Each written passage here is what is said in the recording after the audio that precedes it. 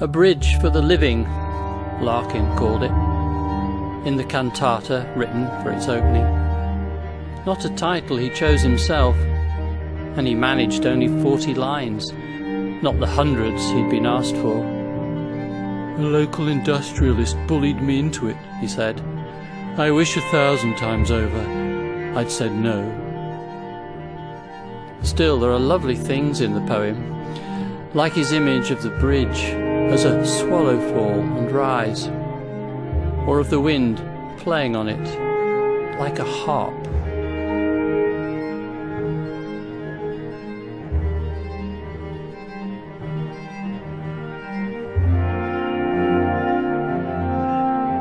When you're standing underneath, it's percussion you hear the swish of car tires and drumming of trucks.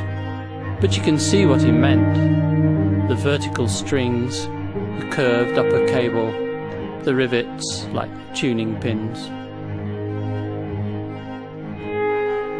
And when fog lifts from the river in a swirl of white robes, it could be the ascension and angels sitting like quavers on the bars of heaven's gate.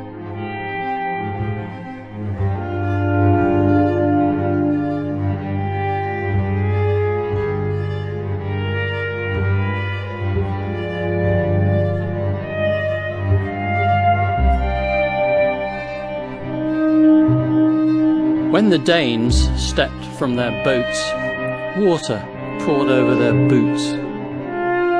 The River Don was good for trade, but the land alongside was swamp, till Vermuyden came from Holland to drain the fens and marshes. Where there'd been peat, peasants grew peas. Result! Except King Charles grabbed the best land, the bastard. Years later, in the opener to the English Civil War, the Bolshevik locals took revenge on Charles when he tried to enter Hull to steal its arsenal and found the city gates shut firm against him. Sod the Royals is a mantra you still hear in these parts today.